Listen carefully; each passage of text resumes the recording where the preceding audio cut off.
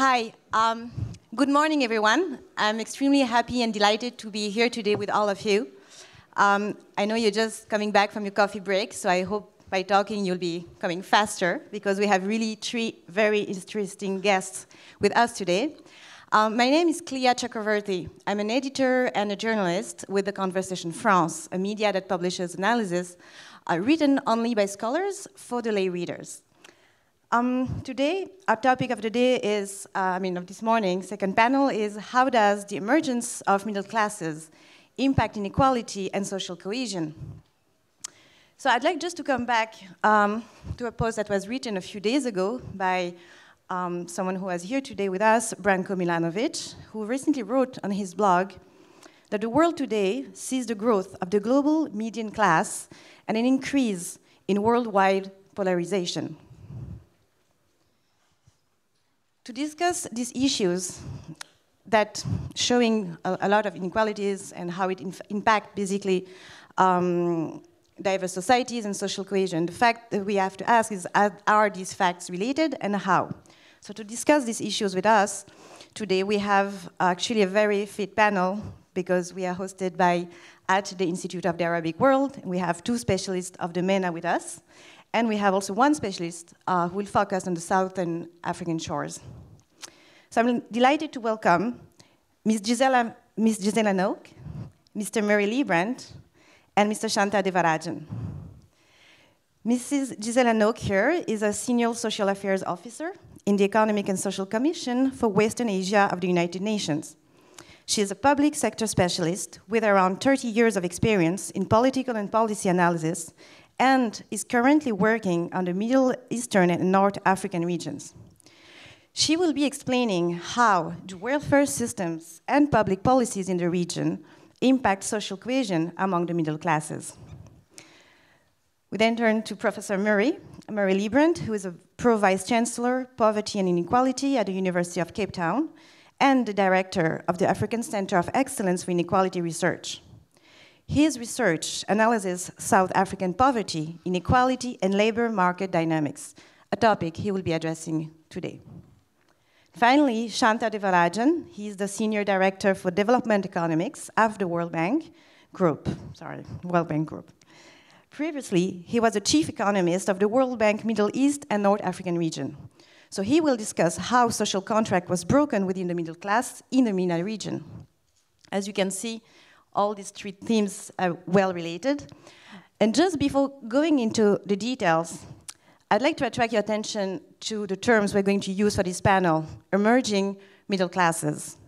I've asked our guests, that they kindly uh, agreed, to think of three words each to reflect this category. We won't go into the definition of the category, but I'd like you to think about it, and we can come back to it later during our Q&A. So, according to you, Gisela, what would be the three words that come to your mind when we talk of new emerging middle classes? I shall tell you. Yes, so please. I think they are privileged. I think they are under pressure. And I think they are disoriented. Thank you. Please note them down. Murray, what about you? I think they are upwardly mobile, but stable and progressive. Thanks. Shanta? I'm going to choose a very prosaic definition, which is the people between the 40th and the 80th percentile of the income distribution. We talk about the top 1% or the top 10%. This is the 40th to the 80th percent. Thank you so much for thinking of this. Um, I'd like to come back to these later. And let's go into our first topic now with Professor Murray Leibbrandt. Um, so the idea is to discuss how do new emerging middle classes, especially black middle classes, uh, in South Africa appear to new labor markets? And how does it impact social cohesion? Morning, everybody. Wonderful to be with you. Uh, my role today then is, is to link in the discussion of the middle class and, and its literature to our reflections on inequality and social cohesion. And the labor market clearly plays an important role in that link. Uh, we will use, or I will use the South African context as my, my background. Uh, and what is that context? This is a society that was uh, turned to democracy in 1994 with, uh, if I have to squabble with my Brazilian colleagues, the highest inequality in the world, um, as a legacy of a very uh, divided, polarizing, and definitely not cohesive society. Uh, and the post apartheid dream really was to transform that. Uh, and uh, especially to make the future for the, for the children better than their parents had to endure under apartheid. So, turning then to, to the middle class. Um, and uh, I had a topic here called uh, suspect definitions, and I was going to say, don't define the middle class like Shanta defined it. Um, as some sort of percentage of the distribution, but I'm sure there's a good reason why he did that. So, uh, but for me, anyway, you need to you need to choose a definition. Why I picked upwardly mobile, stable, and progressive uh, is because, and they are somewhat contradictory, because upwardly mobile is not the same thing as stable, but uh, but forward-looking is what we need. What do we need out of the middle class if it's to play its role? the reason why we're interested in it today is uh, that it's, um, it gives us a lens on inequality, on the distribution of income, uh, but uh, distribution of well-being, distribution of any uh, of of society um, from the middle. But it's much more important than that because it is, uh, in a sense, the growth of the middle class is a sign of a society that is moving ahead, that is flourishing, um, and, uh, and is on a progressive track. Um, and so, what you want your middle classes to be able to do as people, taking that then down to people and their behavior, you want uh, people in the middle class to be stable enough and not to be vulnerable to falling back into poverty or any of those vulnerabilities where there's a huge literature showing it makes people very risk averse and it makes them caught in a trap of short termism. So you don't want the middle class to be like that. That's why I picked forward looking. You want them to be stable enough to have an, a, a, job that provides them enough security, assets that give them enough security to build. So they can invest in their children. They can take out a loan for education or a bond for their house. That's, and then they can play the role that the political sciences give to the middle classes as being a very transformative social force, but there's an economic foundation that's required for that. So that's how I'm defining the middle class. And in some senses, for, for today, it's an outcome. We can look at the growth of the middle class as a sign of the success of a society in moving in that direction. And so our work in South Africa, a paper was uh, presented yesterday. Um, that was a little advert, but uh, uh, on, uh, on, on our work, on the details of our work, but basically we use longitudinal data because it's a dynamic frame of reference. How is the middle class working dynamically? Um, is it, is it able to be forward looking? Is it growing? How, how much of, a, of South African society is establishing itself in the way that I'm talking about now? And so we, we, we model that basically. And the conclusion we come to is that it's very thin. The post apartheid dream and the reality of the economy and the reality of our society have, have not meshed well together. The reality has been one in which the bulk of the population has really battled. And so the black population in particular, which is obviously a particular focus of our transformative efforts and is 90% of the South African population, uh, has not flourished. And the lens we took by looking at the middle class and looking at the definition that, that looks for people to be able to be forward looking and not be vulnerable to falling back into poverty shows that uh, perhaps from the, uh, the, the, if the top 25%, if, if about 4% is elite, then the remaining uh, portion, 20 plus, 21%, could be deemed to be middle class in that sense. It's very thin, it's way out of line with what the, uh, what the market research people call the burgeoning black diamonds of South Africa. Well, in the reality of people, that's not there. That's not how their livelihoods work. And it's not how they behave. And the protests in South Africa and the, and the discord in our society correlates with that picture. Okay, moving on then to the, um, the role of the labor market in that. It's very important. It's turned out to be very important in South Africa. Uh, in particular, the characteristics of the middle class are ones where they are in stable employment. They are covered by regulatory frameworks. They're, in the, they're certainly in the formal sector, but even more than that, they're in the, in the managerial, uh, moving towards the, the, the much more stable professional ranks in the labor market. That's what's required to back up from the labor market side the vision. Um, and uh, and that, that part of the labor market has been battling in South Africa. Uh, it, has been stable as a portion of the labor market, but it hasn't been growing. The top end of the labor market, if you like, is what's, what we're talking about here. Um, and so, for people trying to grow into that, below that in the labor market has been a much more vulnerable sector. Uh, some of it's in the formal sector, but it's, it's, um, it's subject to the fourth industrial revolution, to the type of uh, restructuring, industrial restructuring we've been hearing about in our conference.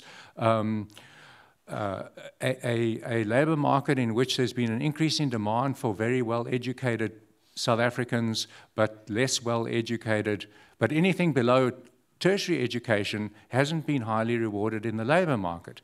And so the precariousness that used to be characterized by the informal sector is actually much more deep seated now in the South African labor market than it was in 1994. And so that's one of the drivers how the labor market undergirds what we see about this very small, disappointingly small middle class. And then below that, there's this picture of a precariat. So let me just, uh, and then obviously South Africa has then a huge unemployment problem.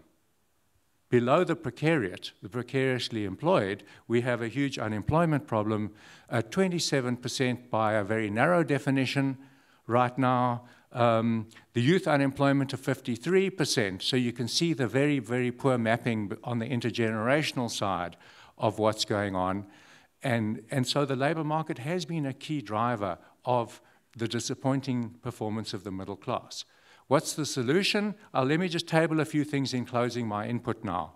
Um, well, yesterday, the, our president promulgated our first national minimum wage. We, we have sectoral bargaining that sets minima for the formal sector workers, but we, we, you know, the precariat that's becoming a larger section of the labor market is left out of that picture. And so it's not, it's super important, in my opinion.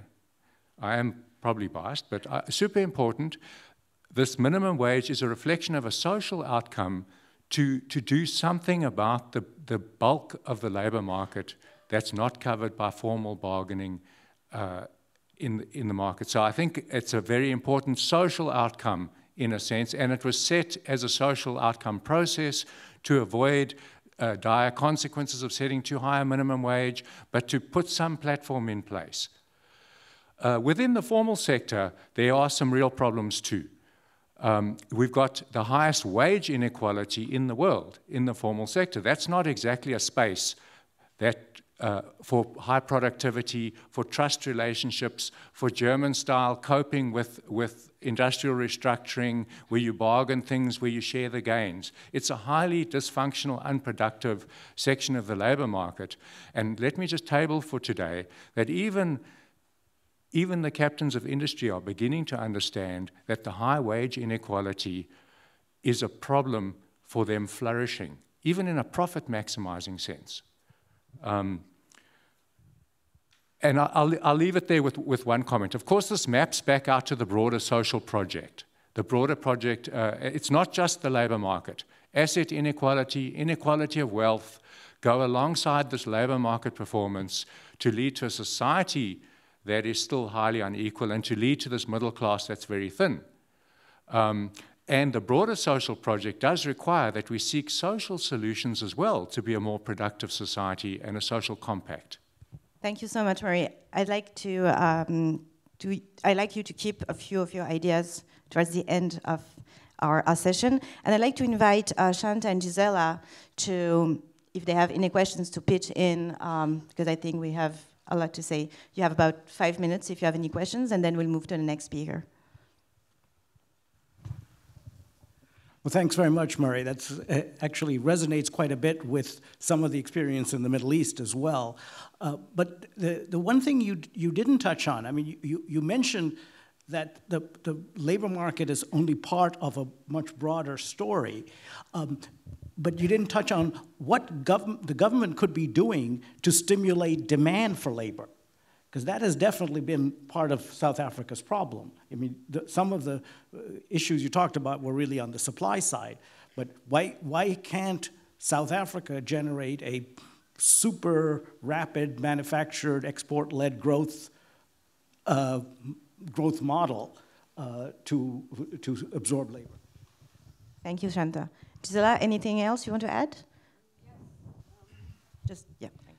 I mean, I think it is um, most probably not only the overall demand for labor, but also the demand for qualified or unqualified. So, what is the structure of the labor market? I think, um, as you said, the low, um, low wage, low value added jobs are the ones which help people out of, out of destitution, but I mean, that, that demand is there. So I think the demand for which quality of data, how, how can you generate demand for, for labor with, in more, with more higher productivity? So that is, I think, my question to that. Thank you, Gisela. Murray, would you like to answer briefly? Two minutes?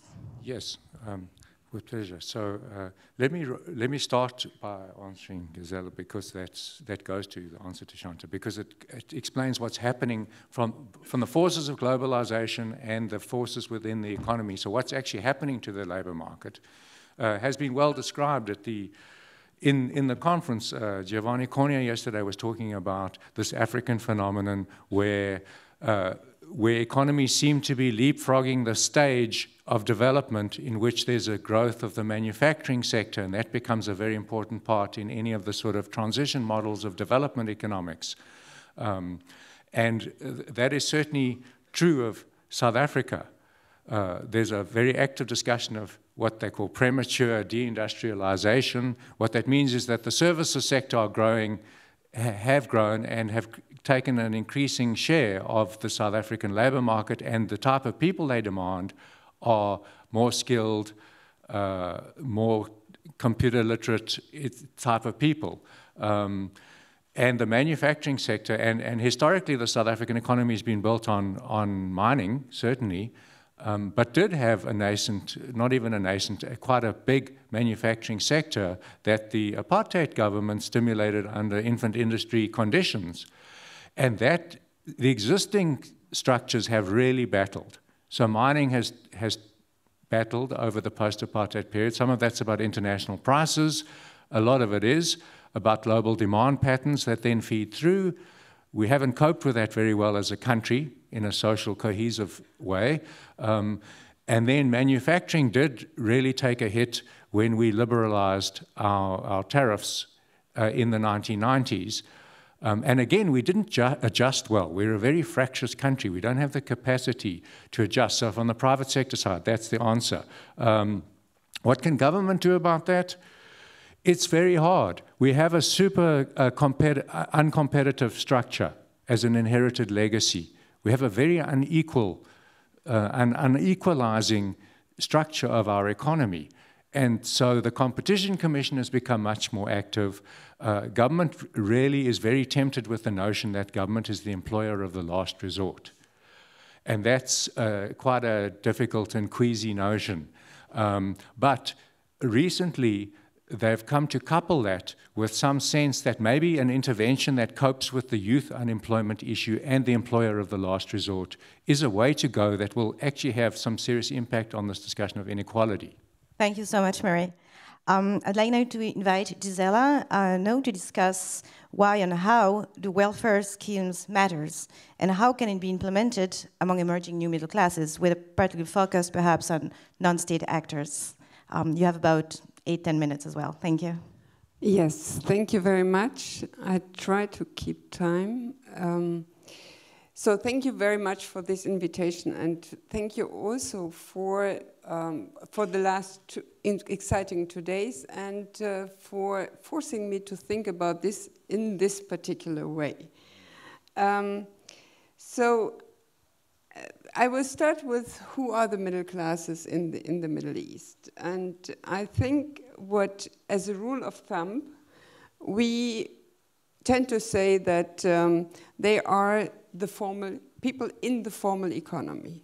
So people in the formal economy are mainly public sector, public enterprises, some private enterprises, um, the banking, and then independent professions like lawyers and, and doctors.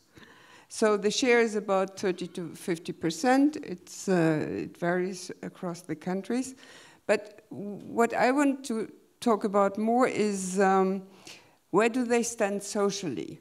Um, so it, it seems that the middle class in the Middle East is very close to government or even equal to government. And that has enormous consequences in terms of social policy, social cohesion, and, and so on. So the characteristics are educational, so at least secondary education. We don't know, as uh, my colleague said, um, about property, which is a very, very important factor, but uh, largely unknown in the Middle East. Um, and it is about privileges. So job security, working conditions, um, pay not that much, but um, social security coverage and quite generous. So the question is, why is this so? And there we come to what Shanta will elaborate most probably later on. Um, welfare systems um, and as labor markets reflect social power relations. So it is in the Middle East and across the board, you had in the traditional where countries came from after independence, you have uh, public sector employment as the main job, the main security system. Then you have uh, and public sector employment with social insurance. Then you have subsidies across the board, and you had the public provision of social services for free. So this is still the setup, for example, very clearly in the GCC, in the Gulf countries. Um, but they start, the heat is on. So you see a number of, a, a big pressure, and this is why I'm saying under pressure, pressure coming. Um, in the, even in the Gulf countries, uh, public sector employment runs to, runs out, it's no longer possible. And the private sector is not able to take over, not ready, or not ready to take over under the same privileged conditions. So the, you may have heard about this transformation plan in, in Saudi Arabia. The core of these reforms is to encourage, enable, support um, the private sector to take over in an organized way. So that is one of the key words because other countries have felt the heat earlier. They, have, they went there. Um, public employment decreased, public services deteriorated, which is very important. Subsidies still were on, but are now phased out. And, um, but the entire what I say private sector takeover was by default and not by design. So you had a very big growing informal sector and a de facto privatization of public services, of social services. So then the private provision of services comes for profit and non for profit. For profit needs a strong regulation so you need the state to be capable to regulate these services, the provision of these services. And when private sector takes over by default, it is not always the case. So the regulation lags behind. Then you have the non for profit sector. And that is um, very interesting because um, some, in some cases, in some countries, the private provision follows sectarian lines. So you have Christian schools, schools for Christian children, you have Muslim hospitals, mainly for the Muslim community, you have faith based organizations bringing social services, and very, some in very modern ways, so like conditional cash transfers. You, you attend, or your family, your children, your wife attends a religious course, and you get the transfer. Um, so states may, in, in many cases, walk a very thin line here. So yes, private initiative, also middle classes, is important, but it's the way how they are provided and what do you want. Um, private sector, also these uh, private provision of schools and hospitals, do not always serve all income groups. So it is organized by the middle class for the middle class. Um, the cash transfer programs, which I talked about earlier by faith based organizations, yes, they target the poor, but uh, the, the public services are mainly in group and horizontal distribution. Um, so I want to conclude by four points, what I think comes out of that. And in the spirit of the Agenda 2030, um, I think this is somehow true for developed and developing countries. Um, the type of social cohesion you organize or which prevails in societies depends on how welfare systems are constructed. So welfare systems are very, very important for the structure of social cohesion in society. It is inform they are informing, uh, they're deciding about the degree and the kind of redistribution. My second point will be with all sympathy and support for supporting the bottom 40%, um, the safety net approach still maintains that division between privilege and the rest, between the formal and the informal. So it still reflects the unequal power relations in the society.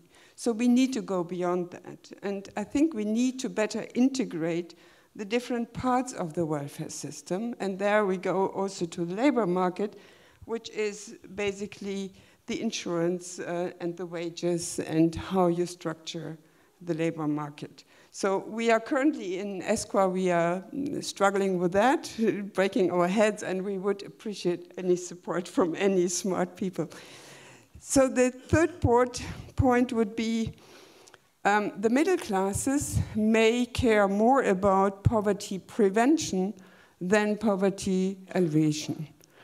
Um, and in this case, I think social insurance is much more important than social assistance but it needs to be more flexible. So it needs to be able to integrate broken careers, so uh, broken employment histories, like in informal work and informal work. So it needs to enable social insurance systems need to be reformed in a way that they enable portability of benefits and all of that. And then I think my last point is we need more attention to public goods, which had been mentioned before, and which also resonates with the, um, with the attention to the commons of the um, AFD before.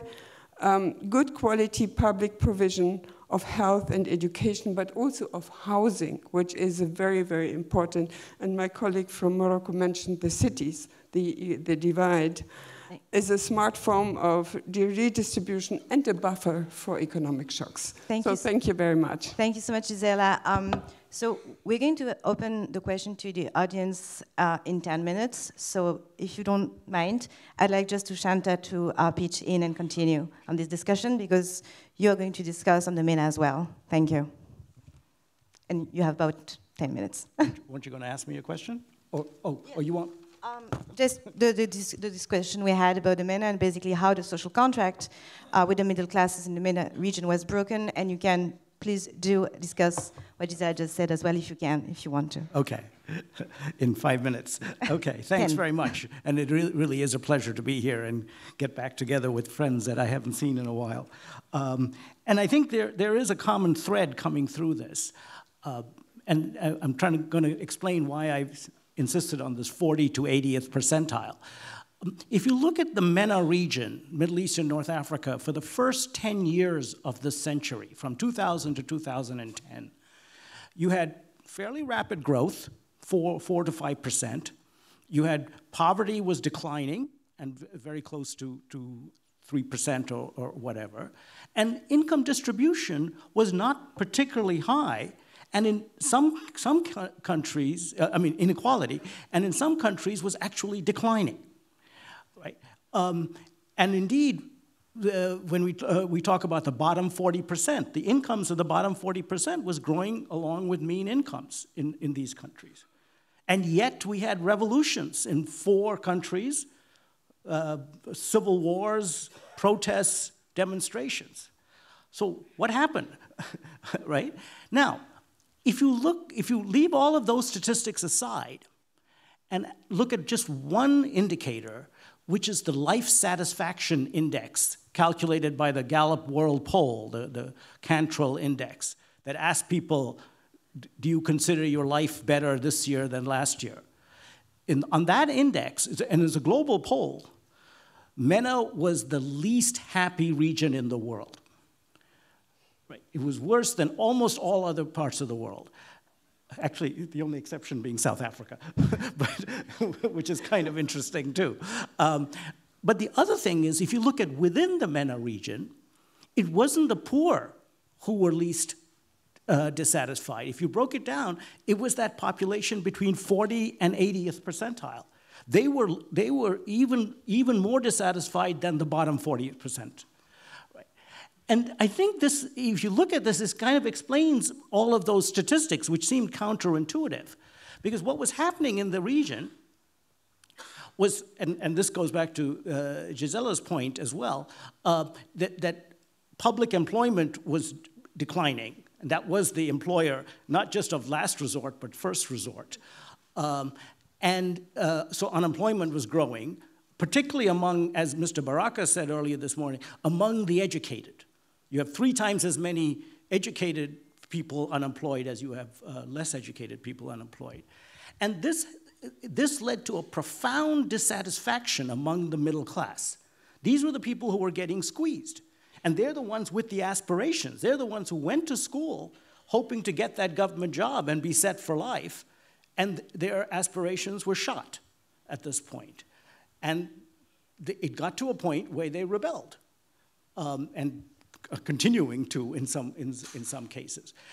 And, and that's why I characterize this as a broken social contract, because if you go back to almost every Middle Eastern country had a very similar social contract. The state would provide subsidized food and fuel. They would provide free health and education, as Gisela was, was mentioning, and they would provide jobs in the public sector. And in return for which, the population kept their voices quiet. The, all the measures of voice and accountability in the Middle East are lower than the average for uh, other countries with the same levels of, of, of, income, right? What happened in the early 2000s was that that social contract was broken. The state was no longer keeping its part of the bargain, which was to provide jobs. And that then meant that if the state wasn't going to keep their part of the bargain, why should we keep, the citizens keep their part of the bargain. And that's what erupted. Now, the real question going forward, and we can discuss this afterwards too, is what do we do now? Because as we know, the Arab Spring has not ended well in many countries. They've gone into civil wars, uh, there's constant tensions, constant eruptions. Uh, and there's some, some forces are trying to reproduce the old social contract. And that's what we have to be, watch out for because that's not going to happen. That's not going to work. That co social contract has failed. So we have to think of a new way in which the state is not an employer, but a facilitator of the private sector. So you mean a, a new social contract as a solution, but is it, is it possible? I mean, do you have any examples Yeah, coming so forward? There, or there maybe are, there, are, there are elements of this that there, people are, are, are trying to do. And let me say that, let me add, and this uh, is a comment on Gisela's uh, point as well. While the state provided free health and education, the quality of both of those was extremely poor. It became poor in those, and it, it, is, it is so poor that the private sector emerged as, a, as, as an alternative. That was the, the, I mean, look, 80% of the students in Egypt go for private tutoring. Right? That's not even a, a poor thing. It's, it's, it goes all the way to the, you know, I, the 80s. I think Gisela would like to react. Would you? Yeah, I mean, I, I totally agree, but that is, doesn't mean that we should even more encourage the private sector. no, no, I, I didn't say This, that. this means that the, the public sector needs to regulate better if you go for profit provision. And, I mean, okay. Okay, no, no, that, no, no. Mar- Murray, maybe do you, do you like to pitch in, or shall we open the, the questions to the audience? Just- Well, I just I do think that there's a there's a very important point emerging here about the role of the state in this whole deal, and and uh, Shanta's very telling phrase that we can't rebuild the the social contract on the old rules, because my point about the the South African state, and you- you asked a question about employment creation, and so I said, well, they they're tempted by that notion, but it leads them to avoid the point that they do have key found, foundational roles to play uh, for all citizens, but also for the labor market around infrastructure, if you like, uh, and, um, and education and health. And they've done that pretty badly on all counts. And so, in a sense, th- that's why I was wary of this notion of, of the state seeing its role in this as employer of last resort when there's very foundational things that they have to put in place as the bedrock those exact things quality education, quality health, but then also the infrastructure, electricity, transport for all of the citizens, including the workers and those looking for jobs. Those are the absolute key roles of the state, I think, in the new social contract. Thank you so much. From what is, what is my understanding, we are going from basically talking about the emerging of the middle classes linked to social cohesion through the question of the place and role of state and private sectors uh, in, in this new social contract, which is, I think, a, a whole new topic of research, which, which will be quite interesting to discuss now um, with our audience if there are any questions. Please. yes, sir. Um, can we have a mic, please? Thank you.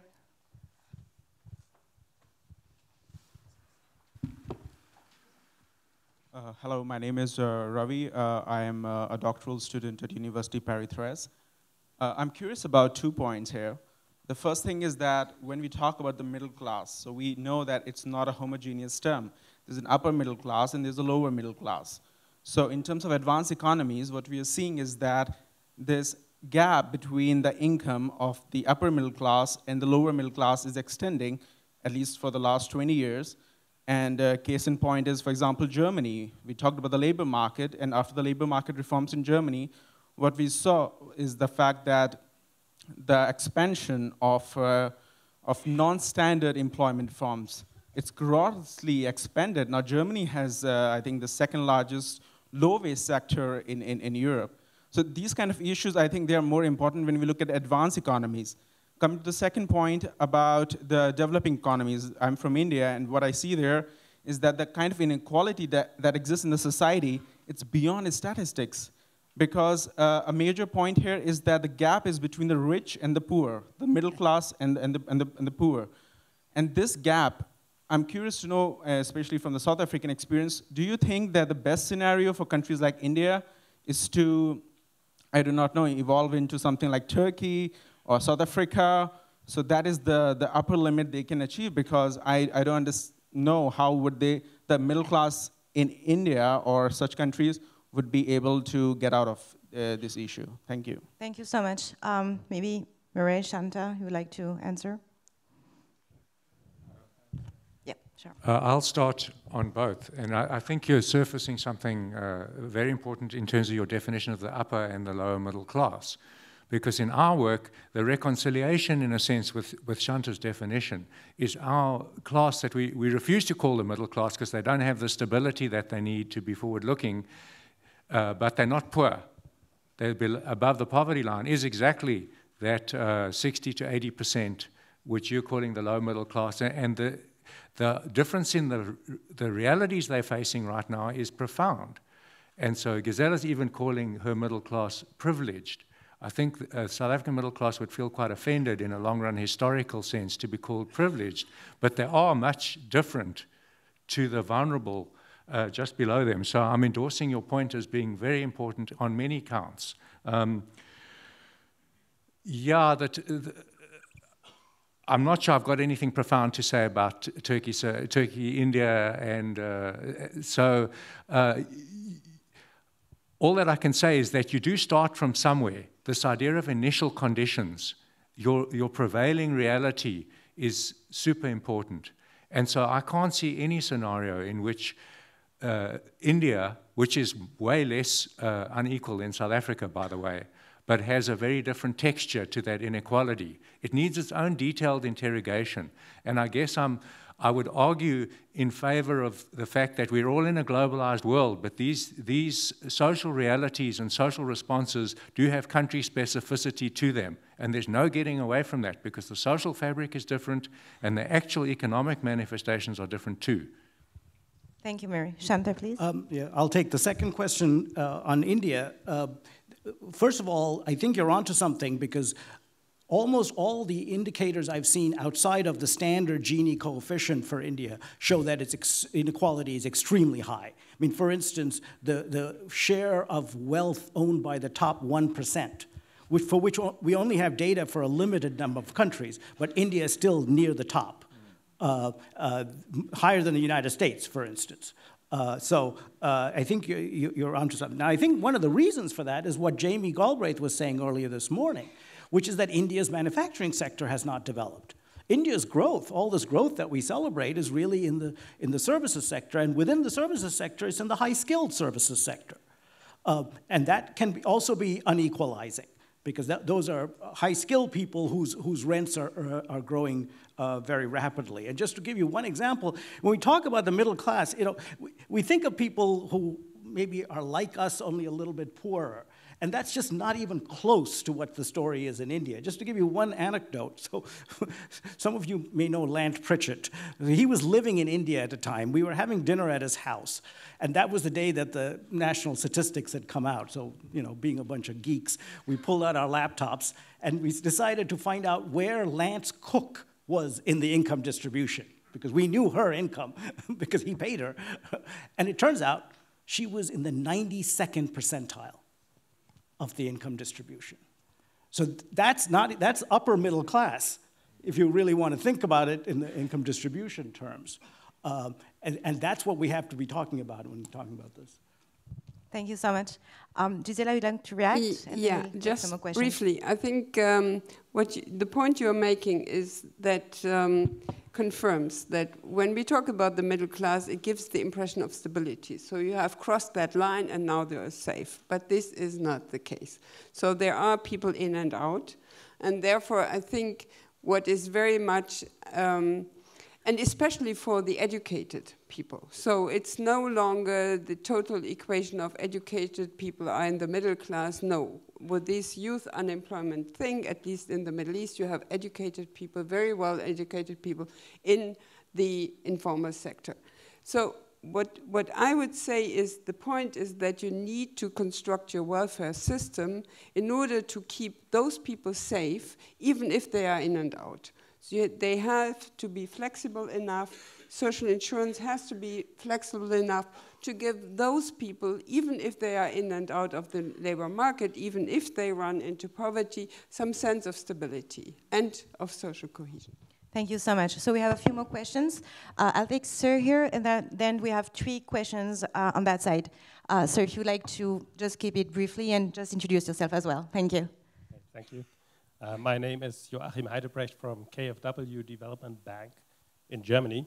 Um, I, I, would like to ask the panelists how you perceive the political role of the middle class, their role in with respect to, to keeping government responsible, accountable for their role in uh, restricting elite capture and um, change the spending pattern, social spending pattern of government. Are they agents of change or are they simply an enlargement of the elite? Thank you. Maybe just one answer and then we move to the next questions.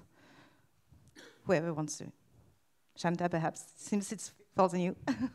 Uh, so the, the real answer is much longer than what we can uh, discuss here. No, there, there's no question that the, when people enter the middle class, their, their, their, their needs become greater in terms of the politics. They're actually demanding more in terms of social stability, in terms of uh, accountability you find that you know, the polls show that the middle class are the ones who actually, once they've got the basic services of you know, childhood diseases and basic education, that's what they now want. They want government to be accountable to them. So they can be a very powerful force.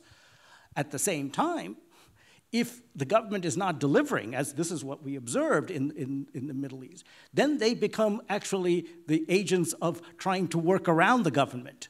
Uh, so when, when they found that the government was not delivering jobs, they initially went into the informal sector.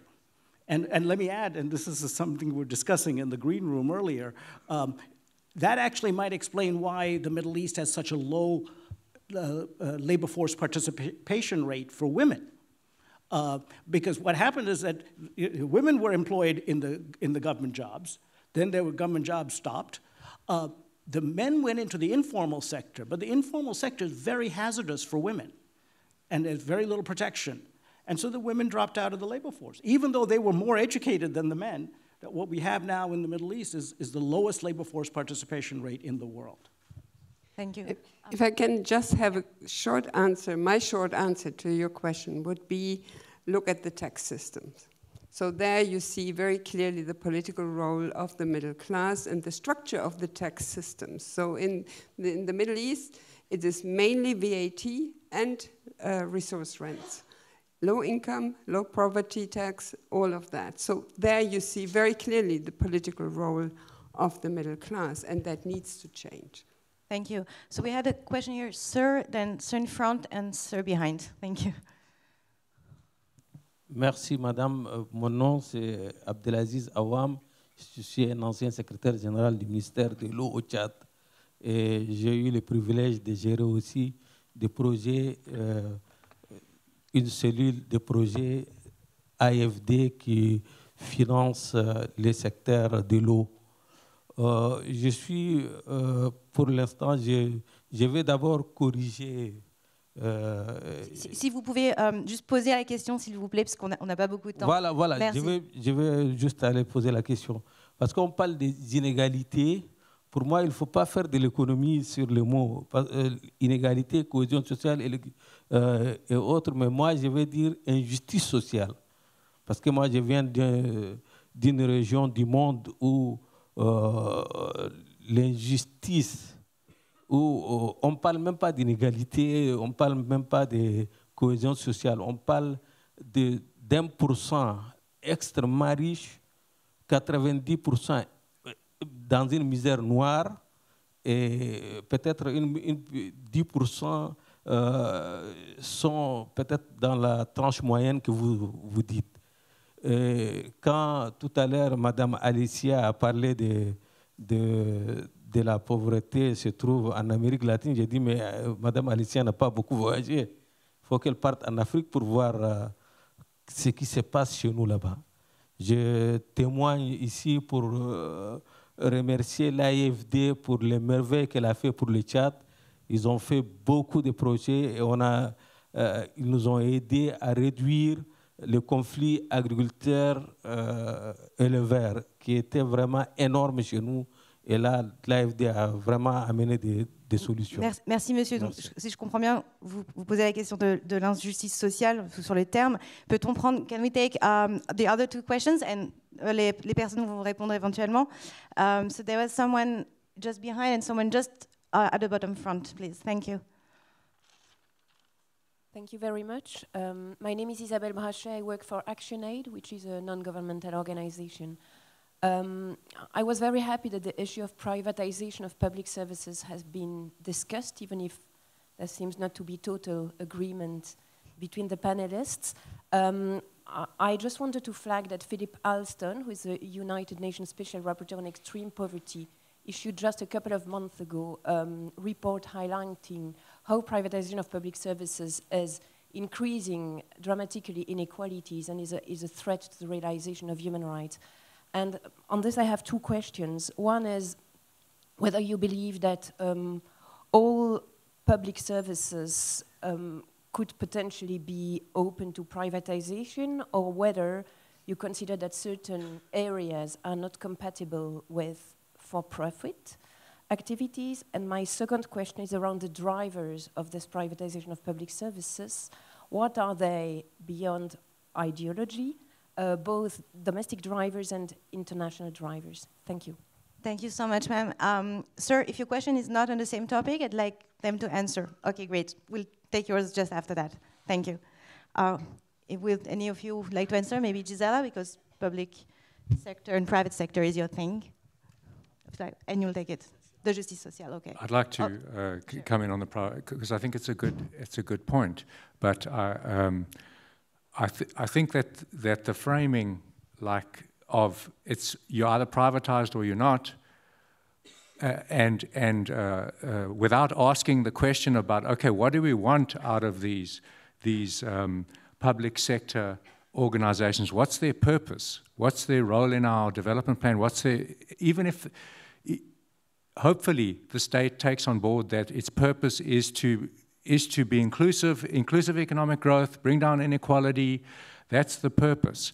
Uh, because the counterposition between public and private misses the fact that, for example, in South Africa, the state, uh, the, public sector uh, provision is, is, really public sector provision, and there's a very anti-view about privatization. But the elite, the public sector elite, and the ruling party captured the private, the public sector for its own ends, with a huge failure of the people. Um, and uh, and the only, th so there's a lot of discussion and debate about that. The only thing people seem to agree about that is that privatization is an anathema. Well, compared to what? Co compared to the existing reality, um, you know, uh, I, I, for myself, so for example, the, the, the state airline is a public sector, state-owned enterprise, huge loss-making, I don't see why we need a, a, you know, if it's captured by the state and it's absolutely useless and it's taking billions and billions of South African rands to bail it out, I think we should get rid of it. Uh, just in the sense that it doesn't have a key role to play. Then there's something like the electricity supply, which is also hugely dysfunctional. South Africa right now is on a huge blackout because the state-owned enterprises. Uh, so we all know from international experience that privatization has its own perils, and I'm not arguing for that. I'm just arguing for a nuanced discussion that makes it very clear that the reason we need electricity is because it has to support the citizens of the country to do what they do. And, uh, and in South Africa, there's a whole menu of, of public-private partnerships that are perfectly possible that greatly increase the environmental sustainability of energy supply. I do think the state should be in control of that, but I want some nuance in the discussion.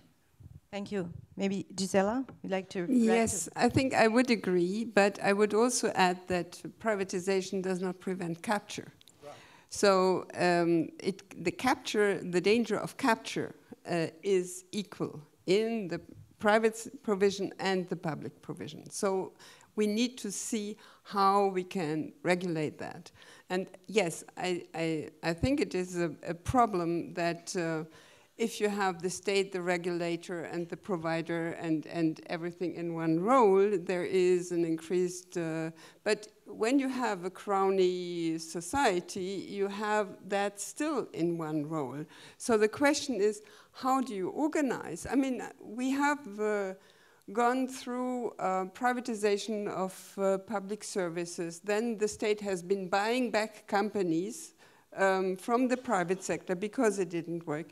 So I think that is a very, very crucial element. How do we organize uh, the provision of public goods or semi-public goods even. So the infrastructure, the, the health, education, housing, all of that is a key element in the discussion on social cohesion. Thank you. Shanta? I'm going to disagree a little bit with the terminology here. You talk about privatizing public services. It's as if somebody consciously decides. Some policymaker wakes up in the morning and says, okay, today I'm going to privatize public uh, education in, in my country. That doesn't, that's not how it works. These private schools are usually, they emerge organically because parents are so frustrated with the quality of public schools. I mean, we have lots of evidence now in India, in Pakistan, in Tanzania, in Kenya, where there's free public schools in these in rural areas, but the teacher's not there. So parents get together because they're desperate to get their kids an education. They get together and hire a high school graduate from the village and have her teach those children. And they charge, they, they pay, uh, uh, each parent pays uh, $3 a month. So this is completely, it's, there, there's no government involved. The only thing the government has done is to mess up the, the public education system so that these schools emerge. So th this is not a policy decision, it's a default from, from what is done. Now, ha having said that, it, it's true that, it, it's, that these parents have to pay this kind of money, because $3 a month is still a lot for when you're earning $100 a month. Uh, um, and uh, so they, they have to do something about it. But so what, we're, what, we, what we, you can't wish them away. You can't say, well, we shouldn't have these private schools, right? What we need to do is to figure out a way to regulate them, as, as Gisela says, and actually provide enough information so parents can actually make a choice. Mm. They can see, because some of these, some of these private schools that come up are, are really price gouging too. Um, but if you can get the information about the quality of the schools, you might be able to, to, to get there. Um, let me, I, I, like this question about la justice sociale, uh, social justice, um, because I think you're, on, you're exactly right that what many of the people in the Arab Spring, Spring were demanding was social justice, not a reduction in inequality. Uh, in fact, the, the slogan was bread, freedom, and dignity. Uh, that was, uh, uh, so, bread was part of the inequality, if you like, uh, but the freedom and dignity were actually about uh, social justice. And I think you're, you're, absolutely right to point that out. Thank you. We had a question, this gentleman at the, at the front, please. Are there any other questions? One more here. Okay, thank you. Okay, thank you. We'll take you, sir, and after the answer, two more questions on that side. Thank you. Uh, I'm Andrea Cornia from the University of Florence. And I think that um, it is quite interesting. I think there are sort of uh, resemblances between uh, the Soviet model and uh, the MENA model. Both have been uh, a high component of statism and uh, so guarantee for employment, cheap food, cheap education, and so on and so forth. And the system, I mean, the Soviet system in Russia lasted 70 or 80 years ending uh, in a very bad way. And uh, now, and uh, I think the, the Arab or the MENA model has lasted less. And so I was really struck by one of you mentioning that is the unhappiest, these are the unhappiest country on the world except for South Africa. And um, so wh why? Uh, as inequality deteriorated, Gisela says, we don't know, but likely not. Um, as the price of oil and other primary commodities, which are financing all these goodies, deteriorated, not in the long term. If, if anything, they've gone up in real terms. So why then all this unhappiness? Well, one is that a lot of good things have been done. When I was in UNICEF, we did a study showing that basically the ratio between female and male education actually become one and uh, including in secondary education. Then they send them to school. They didn't send them to the labor market for the reason that somebody's been giving them on the podium. And, uh, uh, but at the same time, it is quite clear that there is uh, a large number of people who are unemployed, and these are very well educated. So there is a revolution of rising expectations, which the state is unable to fulfill because they want to have well-paid jobs. The other possible explanation is population growth. So the population has grown, has grown too fast in relation to the amount of resources which has uh, uh, financing this. I don't know, what is your opinion about that? Thank you, sir. Who would like to answer? I think I, I, would agree. Population growth has uh, squeezed uh, the, the, the old system. So, and it's still squeezing the, the system, how it was set up in, in Saudi Arabia, for example. This is the reason for the transformation plan. You cannot simply employ everybody in the public sector. It's no longer possible. The private sector is not able to provide those jobs, and especially for the best educated. I, I would like to, to, to think about and uh, ask um, Shanta about um, there is one phenomenon which we have in the Middle East is that people, economies are exporting educated people. So you would need the educated people in the home countries. Yes, you have some of them in the in the in the formal sector, in the government sector, but this is what Shanta said: the demand for um, skilled labor is not necessarily there. So that is one, one crucial part, and this comes also with where the region stands in the global competition. It competes over low prices and not uh, over quality. So it, it ties back to what Mr. Galbraith said about the, the level of industrialization and all of that. So it is not an easy solution, but I would totally agree.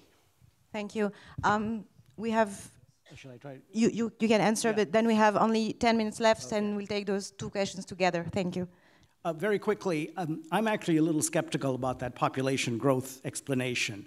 I, I, you know, maybe it was because I used to be the chief economist for sub-Saharan Africa, and so when I moved to MENA, it suddenly looked like this place had already had a demographic transition, which it has.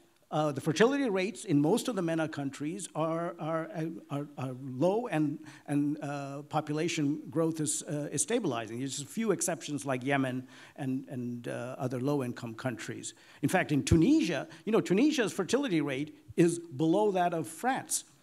Some people think that maybe the migration is going to go the other way, but anyway, uh, we, will worry about that. Um, so I think the questions of wh why they were unhappy um, it, it, really is what we were saying earlier the, the, the, the lack of jobs, uh, lack of public sector jobs, and the lack of private sector jobs being created, and the poor quality of public services, and the health and the education, and the fact that while you had the subsidized food and fuel, uh, that led to very poor quality uh, uh, electricity, for instance. You have more blackouts you know, talking about blackouts in South Africa, you have more blackouts in MENA than any other region in the world, even than Africa. Thank you. Um, so very briefly, I think we have time only for two last questions or three. Um, sir in the middle, and then I think there was uh, a person right here as well. Can you just be brief, please, and introduce yourself? Thank you. so, uh, Agathe Fethaddin, I'm uh, from the University Panthéon-Sorbonne. Um, actually, uh, considering the discussion uh, between like privatization or public sector, South Africa launched uh, the first social impact bond for education uh, in Africa, the second in the world, and uh, basically this were uh, this was private investment helping to fund public and social services. So my question for the panel is: instead of having a vision very binary, either private or public, is it possible to imagine on the, long, on the long run um, this, kind of, uh, this kind of financing? Thank you so much for the brief and precise question. I'll just turn to the next person who had a question, I believe. Yeah, thank you. Bonjour, euh, je suis euh, Anne-Marie Dvorazek, je suis journaliste. Ma première question s'adresse à Monsieur Murray et ça concerne l'Afrique du Sud. On nous a beaucoup montré l'exemple des Noirs d'Afrique du Sud. Quelle est leur part euh, dans des 21% représentant la classe moyenne? Ça, c'est la première question. La deuxième question s'adresse à Madame Gisela concernant les, pouvoirs publics pourvoyeurs d'emploi. Euh, moi, je m'occupe plutôt de l'Afrique et nous voyons qu'au niveau de l'Afrique, euh, la Banque mondiale, le FMI même actuellement, demandent de, se délester des gens qui ont déjà un emploi.